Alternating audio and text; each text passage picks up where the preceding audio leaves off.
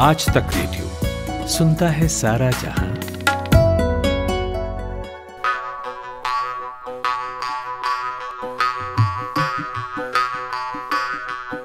ये आफ्टरनून है और क्लाउड्स के साथ सन आइस पाइस खेल रहा है।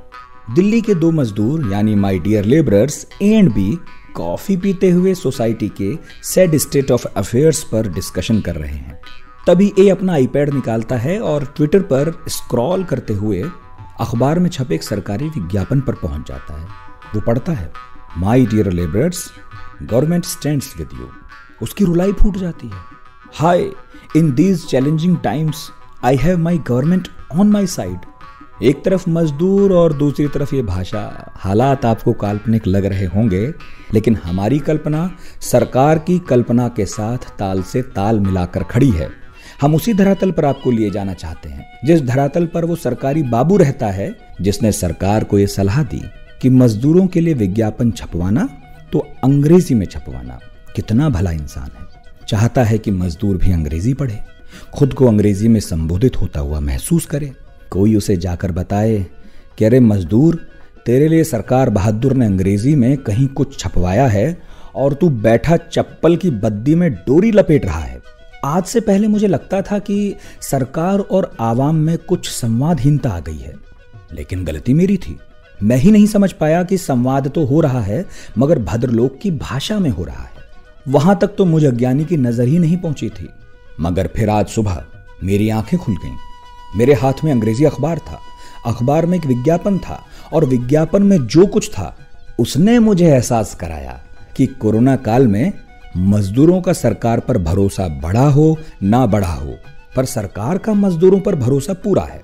उसे और उसके बाबुओं को यकीन है कि हमारा दिहाड़ी मजदूर सुबह सुबह जब एक हाथ से दाल भात का नाश्ता कर रहा होता है, तब दूसरे हाथ से अंग्रेज़ी अखबार के पन्ने भी पलटता है। ये खूबसूरत यकीन ही तो है, जिसके बूते किसी सरकारी अफसर ने प्रवासी श्रमिकों के लिए विज्ञापन छपवाया है।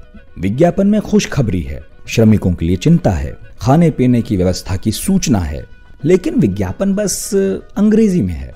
अब ये सर्वे तो कहीं उपलब्ध नहीं है कि देश के कितने मजदूर अंग्रेज़ी में दक्ष हैं। मगर यदि किसी सरकारी अफसर ने छपवाया है तो सोचकर ही छपवाया होगा। उसे सोचने की तनख्वाह मिलती है, सोचने में बाधा ना आए। उसके लिए मज़बूत दीवारों से घिरे बंगले मिलते हैं। सोचने विचारने के भारी भरकम काम में कोई घरेलू काम व्यवधान न डाले, सो सेवक भी मिलते हैं। और जीवन भर इतना सोचने के बाद जब रिटायर होता है तो पेंशन भी मिलेगी। अब वो सोचने का अति महत्वपूर्ण कार्य करता है तो किसी देसी भाषा में करता होगा, मुझे शक है। सो जिस भाषा में करता है, चाहता होगा उसी भाषा में संप्रेषित कर दे। खैर भाई साहब करोड़ों के विज्ञापन की डोली में बैठ के जो खबर आई, वो ये है कि नरेगा स्कीम में पूरे बीस रुपए रोज के बढ़ गए हैं। ना एक पैसा कम, ना एक पैसा ज़्यादा। सौ दिन साल के रोज़गार का हिसाब जोड़ें तो अब एक नरेगा मजदूर को दो हज़ार रुपए सालाना ज़्यादा मिलेंगे। और ये बात सरकार का बाबू my dear migrant labourers and daily wage earners को बताना चाहता है। अब हो सकता है कि आपने भी बाबू दिमाग का वरदान पाया हो। सोचने की बीमारी के शिकार हो। आपने दूर की चिड़िया मारी हो। ये सोचकर कि ज़रूर ये विज्ञापन सरकार ने मजदूरों के लिए नहीं छपवाया। हो सकता है अंग्रेज़ी पढ़े लिखे लोगों के लिए छपवाया हो कि भाई वो भी हमारे प्रयास जाने। लेकिन नहीं। यही तो कैच है भाई साहब। विज्ञापन की भाषा देखिए क्या लिखा है। Dear daily migrant labourers and daily wage earners the country stand with you यानी सरकार फुल टूश इंग्लिश में सीधे मजदूरों से मुखातिब है। और ऐसी और भी पंक्तियाँ हैं, जिसने ऐसी सारी गलत फहमी धुआँ कर दी कि मजदूरों के लिए किया जा रहा काम किसी और को बताकर इम्प्रेस किया जा रहा है। बहुत मुमकिन है कि किसी सरकारी बाबू की कल्पना में प्रवासी मजदूर अंग्रेज़ी का बढ़िया जानकार होता है। और वो जानकार है, तभी तो अंग्रेज़ी विज्ञापन से जानकारी लेकर अपने पीसी, लैपटॉप, टैब से नरेगा में रजिस्ट्रेशन भी करेगा। जैसा कि विज्ञापन दाता बाबू ने विज्ञापन में चाहा है। अब देखिए, सरकारों की अपेक्षा का आसमान तो इतना ही ऊँचा है। मजदूर छूने को राज़ी नहीं तो कोई क्या करे?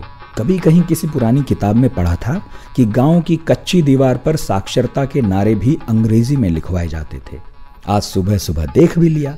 कि विडंबनाएँ कच्ची भीत पर ही नहीं यदा कदा अखबारों में भी उतरती हैं। उस विज्ञापन के अंत में लिखे भावुक आह्वान पर तो किसी का भी दिल भरा है फिर मजदूर का क्यों नहीं भरेगा, जिसका पूरा जीवन पीड़ा का दस्तावेज़ है? अफसर बाबू ने आंग्ल भाषा में लिखवाया है during these difficult times the entire nation stand with you देश तो मजदूरों के साथ है, देश चलाने वाली सरकार भी है। लग रहा है सरकार चलाने वाला अफसर भी है, लेकिन अंग्रेज़ी में। हो सकता है अंग्रेज़ी में दिया गया साथ उस साथ से ज़्यादा मज़बूत होता हो जो हिंदी में दिया जाता है। बोलते बोलते एक पुराने हिंदी गाने की लाइनें याद आ रही हैं। उसमें दिलीप कुमार कह रहे थे, लीडर लोग की ऊँची बातें क्या समझे तुम नीचा? इसे लीडर रहने दीजिए या अफसर से रिप्लेस कर लीजिए। महसूस कुछ वैसा ही करेंगे। नितिन ठाकुर आज तक रेडियो। अरे क्या जानो हम इस भेजा में क्या क्या नक्शा खींचा? क्या जानो हम इस भेजा में क्या क्या नक्शा खींचा? लीडर लोग की ऊँची बातें क्या समझे तुम नीचा? आज तक रेडियो सुनता है सारा जहाँ।